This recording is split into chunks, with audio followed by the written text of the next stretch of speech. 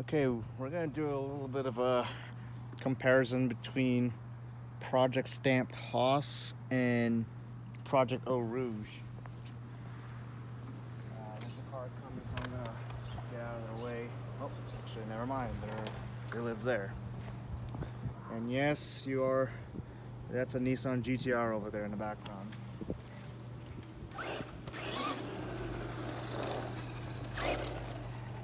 So Project Eau Rouge is my first uh, RC project that I've done.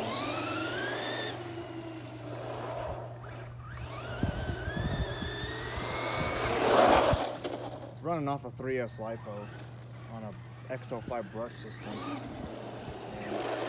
Don't freak out people, this XL5 can accept 3S LiPo. I'm just not gonna use it full time.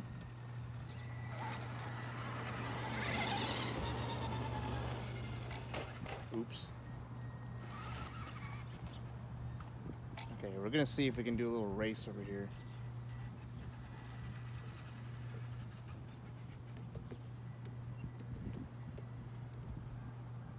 I know for a fact that the Hoss Stampede mashup's going to pot wheelies. So three, two, one.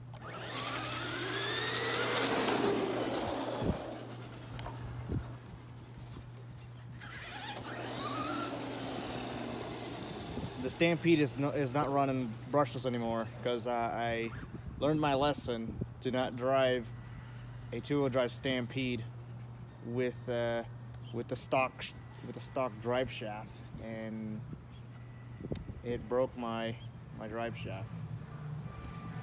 So, here we go.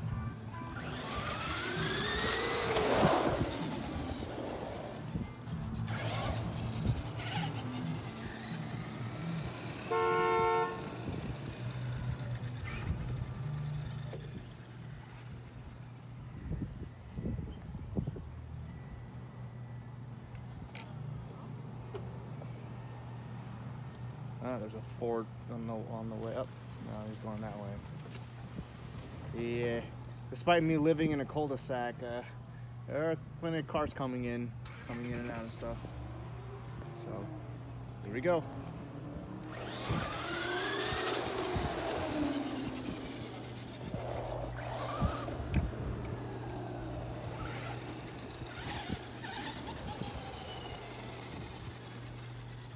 Yeah, the Hoss is never the Stampede was never meant to be a race a race truck.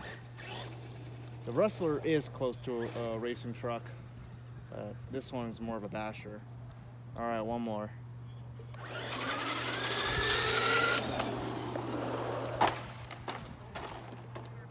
Oops. That happened. The Hoss flipped over. See if I can flip it over with the rustler.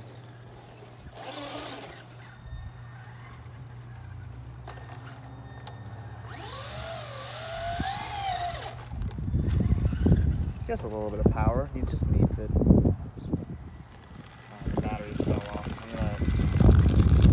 I shouldn't be dragging it, but you know, I'm gonna fix it over here. I don't feel like doing the walking up shame.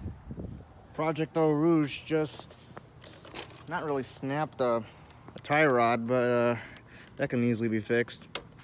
I'll go do that right after I drive my Vortex.